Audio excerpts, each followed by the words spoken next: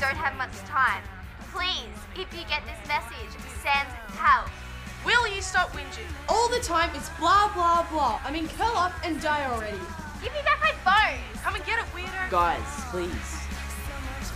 Take that back. Make me. Shut up, the both of you. We all hate each other's guts. So how'd we get here? It's kind of a long story. One moment we're on a school excursion and weird things are trying to kill us. Next, we're here. What The hell was that?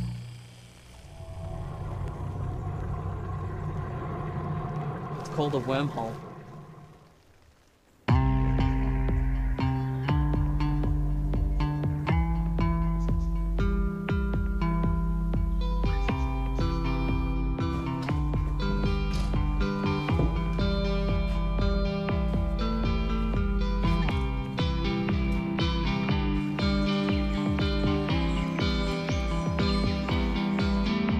Where'd you find the bacon?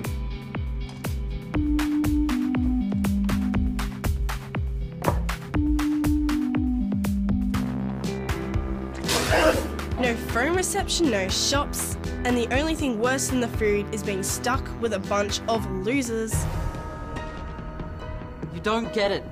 This wormhole thing could open up anywhere in any universe. So, we just wait for it to open up in our universe. Hello? Probability zero. It's just us. And if we don't get it together,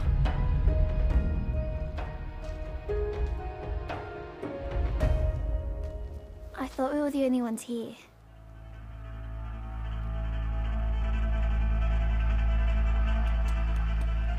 So like some psycho bushrangers stalking us, and we're stuck here forever. If we came out of the wormhole, does that mean other things can get through? Go home!